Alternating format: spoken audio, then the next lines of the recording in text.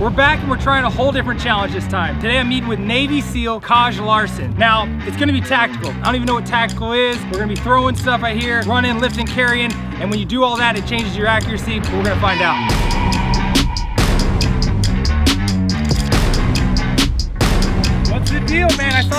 Saw the rope climb out there. What else are we doing today? Implement number one, baby. Yeah. Figured for you, you like that. Yeah, I like that part. What else we got? So today we're gonna do a little tactical training. You know, in, in the SEAL teams, we do a lot of combat training and a lot of combat simulation. And one of the keys is you might be in combat and your heart rate's way jacked up, but then you gotta put rounds down, down range. And the skills you need for that are precision and accuracy and an ability to control your heart rate. We got three accuracy, precision, weapons, instruments that we're gonna use to test that skill. And then we got three stations. We got burpees, we got rope climbs, and then we got kettlebell swings. Except you gotta earn it, right? You gotta earn the fun times. So our buy-in is we're gonna go off on a five mile ruck run right now. So no, so I should have known.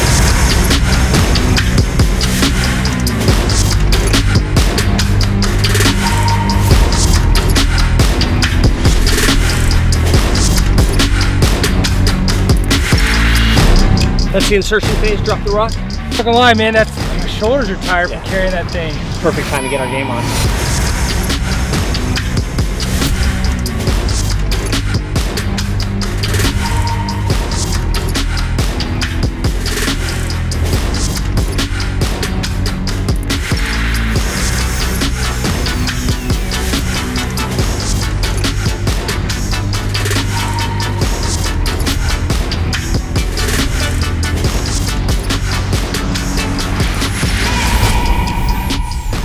Holy smokes, dude. Yeah, good work.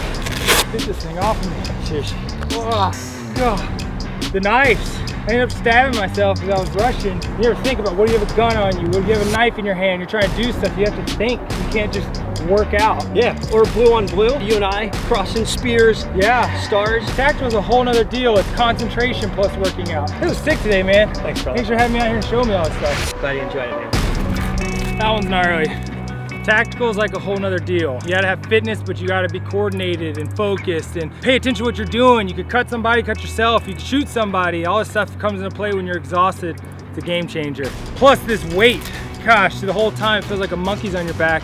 No, that was intense. Totally different kind of workout. Up next though is Ryan Hall. Seeing if I can get my run on with an Olympian, world record holder.